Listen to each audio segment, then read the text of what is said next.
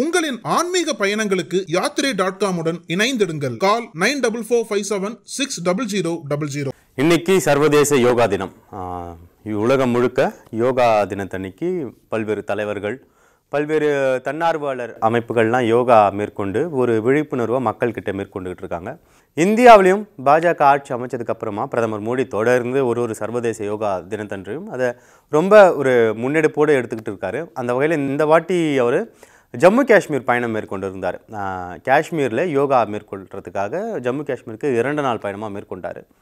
இந்த ஜம்மு காஷ்மீர் பயணத்தில் வெறும் யோகா மட்டும் இல்லாமல் அங்கே அந்த ஜம்மு காஷ்மீருக்கு சில நலத்திட்ட உதவிகள் அறிவிக்கிறது அப்புறம் அந்த அடிக்கல் நாட்டு விழா இதெல்லாமும் பண்ணுறதுக்காகவும் பயணம் மேற்கொண்டார். நேற்று ஜம்மு காஷ்மீரில் அந்த விஷயங்கள்லாம் முடிச்சுட்டு இன்றைக்கி சர்வதேச யோகா இதில் பங்கேற்றார். அப்போ அங்கே ரொம்ப முக்கியமான விஷயத்தை பேசியிருக்காரு. அந்த யோகா முடிச்சுட்டு அதுக்கப்புறம் ஒரு கான்ஃபரன்ஸ் மீட்டிங்கில் பேசுகிறாங்க அங்கே ரொம்ப முக்கியமான விஷயம் ஜம்மு காஷ்மீருடைய நலனுக்காக அவர் பேசியிருக்கார். என்ன பேசியிருக்காரு அப்படின்னா நீங்கள் வந்து ஒரு சின்ன சின்ன பிரச்சனைக்கு அந்த உள்ளூருக்குள்ளே அந்த உங்கள் உள்ளூருங்களுக்குள்ளே இருக்கக்கூடிய பிரச்சனைகளை பேசி தீர்க்கிறதுக்கு இல்லை உள்ளூர் பிரச்சனைகளை தீர்க்கப்பதற்காக வாக்கு செலுத்தி சில நபர்களை தேர்ந்தெடுத்துட்டீங்க. இன்னும் இது இது மட்டும் போதுமா? இன்னும் உங்களுக்கு பெருசாக வேண்டும் இல்லையா? ஸோ அதனால் கூடிய விரைவில் உங்களுடைய சட்டமன்றத்துக்கும் நீங்கள் வாக்கு செலுத்தி சட்டமன்ற உறுப்பினர்களை தேர்ந்தெடுக்க போகிறீங்க அப்படின்னு சொல்லி அறிவிச்சிருக்காரு. இது ஏன் முக்கியமான விஷயமா பார்க்கப்படுது அப்படின்னு பார்த்தோம்னா ரெண்டாயிரத்தி பத்தொன்பதில் பாஜக ஆட்சிக்கு வந்த உடனே ஆர்டிக்கல் த்ரீ செவன்ட்டியை நீக்கிறாங்க.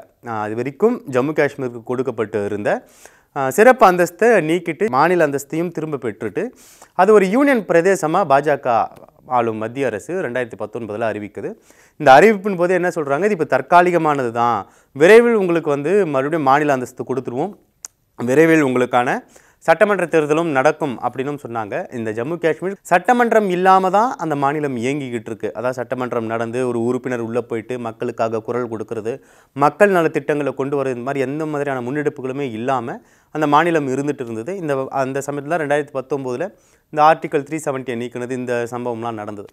இப்போ தொடர்ந்து ரெண்டாயிரத்தி பத்தொன்பதுலேருந்து இப்போ நடந்துரும் இப்போ நடந்துரும் அப்போ நடந்துரும்னு சொல்லி எதிர்பார்த்துக்கிட்டே இருந்த காஷ்மீரினுடைய ஜம்மு காஷ்மீரினுடைய சட்டமன்ற தேர்தல் விரைவில் நடக்க போகுது அப்படின்னு அங்கே இருக்க மக்கள்கிட்டயே பிரதமர் மோடி சொல்லியிருக்காரு. ஸோ இது அவங்க அந்த மாநிலத்துக்கு ரொம்ப முக்கியமான விஷயமா தான் பார்க்கப்படுது. அடுத்து இன்னும் ரொம்ப முக்கியமான விஷயம் என்ன அப்படின்னு பார்த்தோம்னா டெல்லி. டெல்லியில் நம்ம வெகு காலமாக பேசிக்கிட்டு இருக்கிறது ம மதுபான கொள்கை ஊழல் வழக்கில் டெல்லி முதல்வர் அரவிந்த் கெஜ்ரிவால் கைது செய்யப்பட்டு திகார் சிறையில் அடைக்கப்பட்டிருக்கார். ஈடியால் அமலாக்கத்துறையால் கைது செய்யப்பட்டு. இதற்கு முன்னாடி இவர் கைது செய்யப்பட்டதிலிருந்தே தன்னுடைய கைது நடவடிக்கை எதிராகவும் தனக்கு ஜாமீன் வேண்டும் அப்படின்னும் பல வாட்டி ஜாமீன் மனுக்களை தொடர்ந்துக்கிட்டே இருந்தார். இறுதியாக உச்சநீதிமன்றத்துக்கு போயிட்டு ஜாமீன் மனு ஒரு வாட்டி தொடர்ந்தாங்க. அதில் தான் வந்து கடந்த மே பத்தாம் தேதியிலிருந்து ஜூன் இரண்டாம் தேதி வரைக்கும் அவருக்கு இடைக்கால ஜாமீன் கொடுத்தாங்க. அது என்ன காரணத்துக்காக கொடுத்தாங்க அப்படின்னா தேர்தலில் உங்களுக்கு கட்சி தலைவர் ஸோ உங்கள் தேர்தலுக்காக பிரச்சாரம் மேற்கொள்ளுங்க அப்படின்ற அடிப்படையில் அது கொடுத்தாங்க.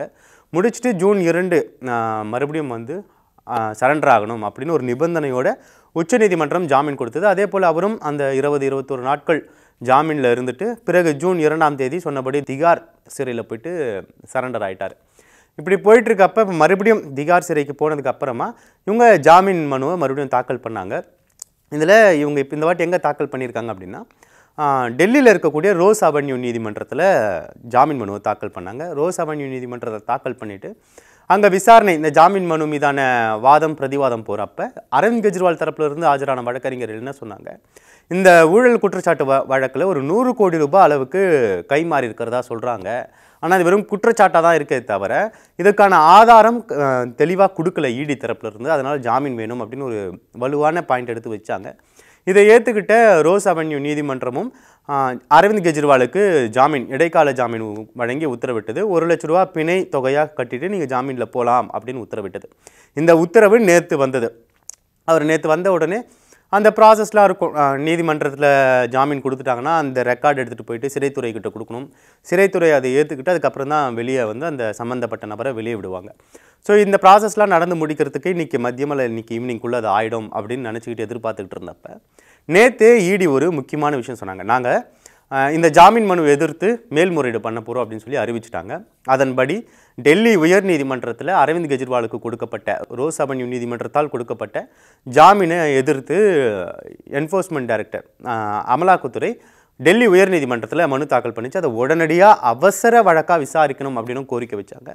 இதை ஏற்றுக்கிட்ட டெல்லி உயர்நீதிமன்றம் உடனடியாக நாங்கள் அவசர வழக்காக விசாரிக்கிறோம் அப்படின்னு ஏற்றுக்குச்சு ஏற்றுக்கிட்டு இன்றைக்கி காலையில் ஒரு ஸ்டேட்மெண்ட் வந்து டெல்லி உயர்நீதிமன்றம் கொடுத்துருக்காங்க. என்ன கொடுத்துருக்காங்கன்னா இந்த வழக்கை நாங்கள் பட்டியலிட்டிருக்கோம். வழக்கு விசாரணைக்கு வரப்போகுது. ஆனால் வழக்கு விசாரணைக்கு வர வரைக்குமே இந்த இடைக்கால ஜாமீனும் தடுத்து நிறுத்துகிறோம் அதையும் தடை பண்ணுறோம் இப்போ அமலாக்கத்துறை இந்த மனு கொடுத்துருக்கு. இதற்கு முன்னாடி ரோஸ் அவென்யூ நீதிமன்றம் ஜாமீன் கொடுத்துருக்கு. ஸோ இந்த வழக்கு விசாரணைக்கு வரத்துக்குள்ளே ஒரு நாள் அல்லது இத்தனை மணி நேரம் இன்னைக்கு அவர் வெளியே வர வேண்டிய சுச்சுவேஷனில் இருந்துச்சு. ஸோ இந்த இடைப்பட்ட காலத்தில் கூட அவர் வெளியே வரக்கூடாது. அவருக்கு அந்த இடைக்கால ஜாமீன் உத்தரவையும் நாங்கள் முதல்ல இப்போ தடை பண்ணுறோம் அதுக்கப்புறம் இந்த வழக்கை விசாரிக்கிறோம் அப்படின்னு உத்தரவு போட்டது. ஸோ அரவிந்த் கெஜ்ரிவாலுக்கு கொடுக்கப்பட்ட ஜாமீனும் இப்போ மறுக்கப்பட்டு அவர் இன்னமும் சிறையில் தான் இருக்கார். இதற்கு அந்த கட்சியினுடைய எம்பி சஞ்சய் சிங் ஒரு முக்கியமான விஷயத்தை சொல்லியிருக்கார். அவர் என்ன சொல்லியிருக்காரு அப்படின்னா ரோஸ் அவென்யூ நீதிமன்றம் ஜாமீன் கொடுத்தது. அதுக்கு ஒரு ஆர்டர் கொடுக்கணும். கோர்ட் காப் கோர்ட் வந்து ஒரு ஆர்டர் கொடுக்கும். அந்த ஆர்டர் காப்பி சம்மந்தப்பட்ட நபருக்கு வரும். அப்புறம் அந்த சிறைத்துறை அவர் எந்த சிறையில் இருக்காரோ அந்த சிறைத்துறைக்கு போகணும். அப்புறம் இந்த வழக்கை தொடர்ந்தாங்க இல்லையா? அந்த தரப்புக்கும் அந்த ஆர்டர் காப்பி போகும். இது போனதுக்கு அப்புறமா தான் அடுத்த கட்ட நடவடிக்கையை மேற்கொள்ள முடியும். ஆனால் மோடியினுடைய இந்த கட்டுக்கடங்காத தனம் என்னென்னலாம் பண்ணுது பாருங்கள் இன்னும் ஆர்டர் காப்பியே கைக்கு வரல. அதுக்குள்ளே மோடியினுடைய அமலாக்கத்துறை உடனடியாக உயர்நீதிமன்றத்துக்கு போயிட்டு மேல்முறையீடு பண்ண போகிறேன்னு சொல்கிறாங்க இப்படி ஆர்டர் காப்பியே வராமல் இவங்க எதை வச்சு மேல்முறையீடு பண்ண போகிறாங்கன்னு தெரியல.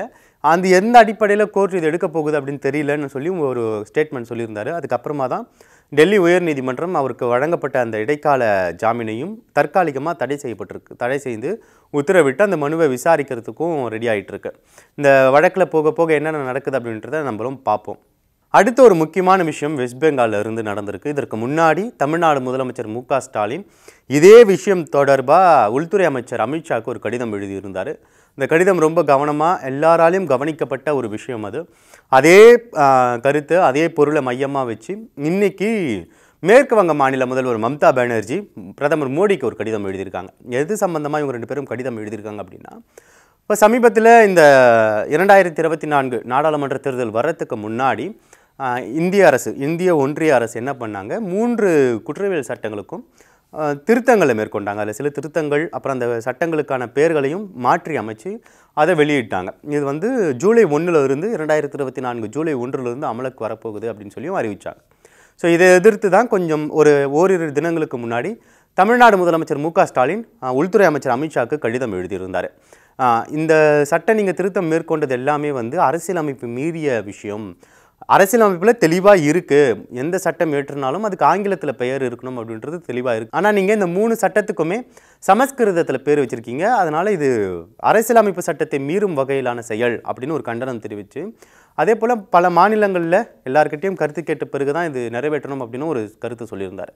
இதே கருத்தை முன்னிலைப்படுத்தி அதாவது இந்த மூணு குற்றவியல் சட்டங்களுக்கும் பெயர் மாற்ற விஷயத்தை முன்னிலைப்படுத்தி பிரதமர் மோடிக்கு மேற்கு வங்க முதல்வர் மம்தா பானர்ஜி இன்றைக்கி ஒரு கடிதம் எழுதியிருக்காங்க. அந்த கடிதத்தில் அவங்க என்ன சொல்லியிருக்காங்கன்னா மற்றும் ஒரு நூற்றி நாற்பத்தி எட்டு எம் எம்பிக்கள் சஸ்பெண்ட் செய்யப்பட்டு இந்த சட்டம் நிறைவேற்றப்பட்டது.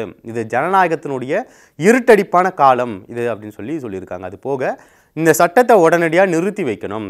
இந்த சட்டம் நிறுத்தி வைக்கப்பட்டால் தான் திருப்பி இந்த சட்டம் நாடாளுமன்றத்தில் ஆய்வுக்கு உட்படுத்துறதுக்கு வாய்ப்பு ஏற்படும். அதனால் இதை நிறுத்தி வைக்கணும் அப்படின்னு பிரதமர் மோடிக்கு ஒரு கடிதம் எழுதியிருக்காங்க. இருபத்தி நான்காம் தேதி வர இருபத்தி நான்காம் தேதி நாடாளுமன்றம் கூட்டத்தொடர் கூட இருக்குது ஸோ ஏற்கனவே எதிர்க்கட்சிகள் சில விஷயங்கள்லாம் வலுவாக பேசுகிறதுக்கு தயாராகிட்டு இருக்காங்க. நீட் உட்பட பல விஷயங்களை.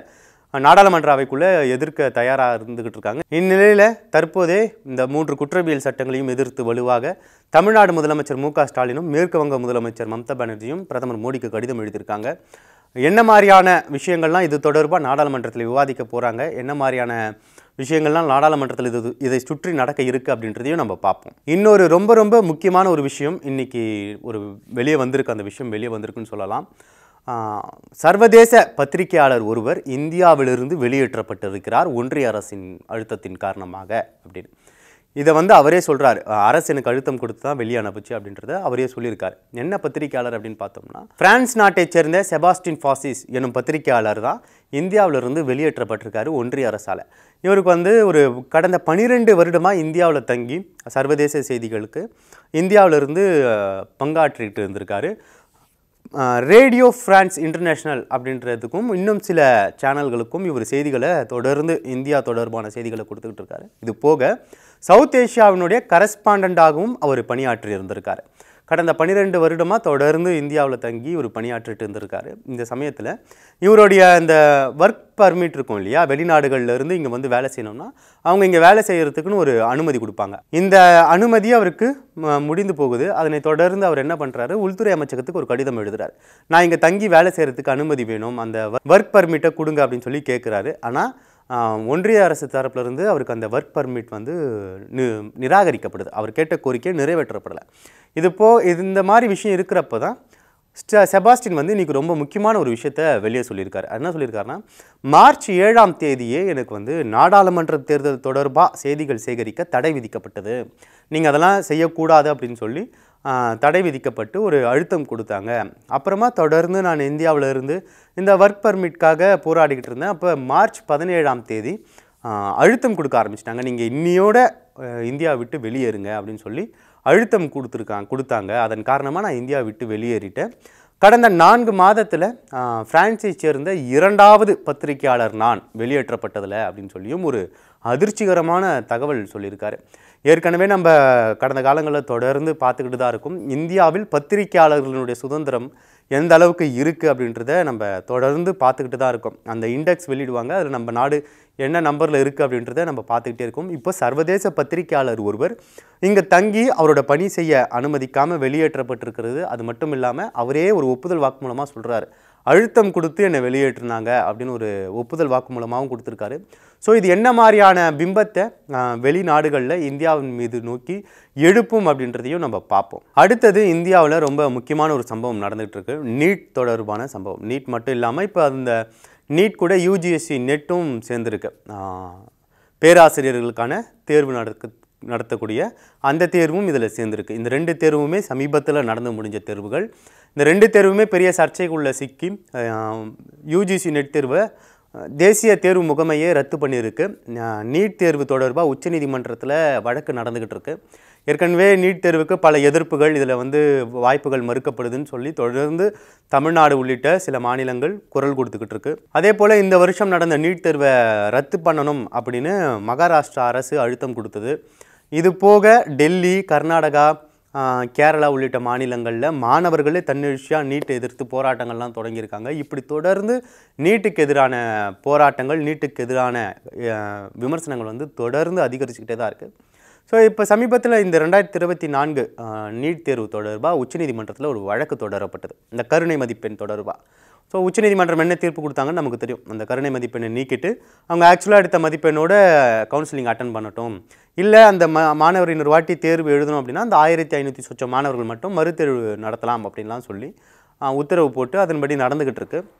இதுக்கு நடுவில் நே நேற்று ஒரு சம்பவம் பீகாரில் பெரிய புதாகரமான சம்பவம் ஒன்று நடந்தது. என்ன நடந்திருக்குன்னா பீகாரில் நீட் தேர்வு முறைகேட்டில் மாணவர்கள் கைது செய்யப்பட்டாங்க. அதில் ஒரு மாணவர் இருபத்தி ரெண்டு வயது மாணவர் பேப்பர் லீக் பற்றி பேசியிருந்தார். கொஷின் பேப்பர் எனக்கு முன்னாடியே கிடச்சிருச்சு. இந்த கொஷின் பேப்பரும் நான் தேர்வு எழுத போய் தேர்வு அறையில் கொடுத்த கொஷின் பேப்பரும் நூறு சதவீதம் ஒத்து போனது அப்படின்ற ஒப்புதல் வாக்குமூலம்லாம் கொடுத்துருக்காரு. ஸோ இதனால் நீட் மீதான சந்தேகம் வந்து தொடர்ந்து வலுத்துக்கிட்டே தான் இருக்குது கொஞ்சம் கூட குறைந்த பாடு இல்லை. உடனடியாக நேற்று கல்வித்துறை அமைச்சர் ஒன்றிய கல்வித்துறை அமைச்சர் தர்மேதன் பிரதான் வந்து செய்தியாளர்களை சந்தித்து சில விளக்கங்களும் கொடுத்தாரு. இந்த நிலையில் இன்றைக்கி சுப்ரீம் கோர்ட்டில் ஒரு உத்தரவு வந்திருக்கு. சுப்ரீம் கோர்ட்டில் இந்த நீட் தொடர்பாக பல்வேறு வழக்குகள் இருக்குது அந்த வழக்குகள்லாம் சேர்ந்து இன்னைக்கு விசாரிக்கப்பட்டது. அப்போ சுப்ரீம் கோர்ட் ஒரு முக்கியமான விஷயத்த சொல்லியிருக்காங்க. என்ன சொல்லியிருக்காங்கன்னா நீட் தேர்வு அதை இந்த ஆண்டு நடந்த நீட் தேர்வுக்கு மறு மறுதேர்வு நடத்துறதுக்கும் அனுமதி இல்லை. அதே போல் இதனால் கவுன்சிலிங்கை தள்ளி வைக்கலாம் அப்படின்றதுக்கும் அனுமதி இல்லை. இது ரெண்டுமே நாங்கள் மறுக்கிறோம். கவுன்சிலிங் அது பாட்டுக்கு நடக்கட்டும் அப்படின்னு ஒரு உத்தரவு கொடுத்துருக்காங்க.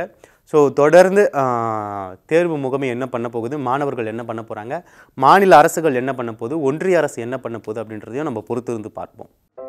நக்கீரன் டிவிக்கு சப்ஸ்கிரைப் செய்யுங்கள். உங்கள் ஆதரவே எங்கள் பலம். ஆசிரியர்களுக்கு நண்பனாகவும் மாணவர்களுக்கு ஆசானாகவும் திகழும் தேர்வு வழிகாட்டி. ஒவ்வொரு பாடத்திற்கும் அனுபவமிக்க ஆசிரியர்களின் துல்லியமான தெளிவான விடைகள். சிஎன்சி இருக்கு தேர்வு பயம் எதற்கு? இது தீரன் பப்ளிஷிங் ஹவுஸ் விற்பனை வெளியீடு.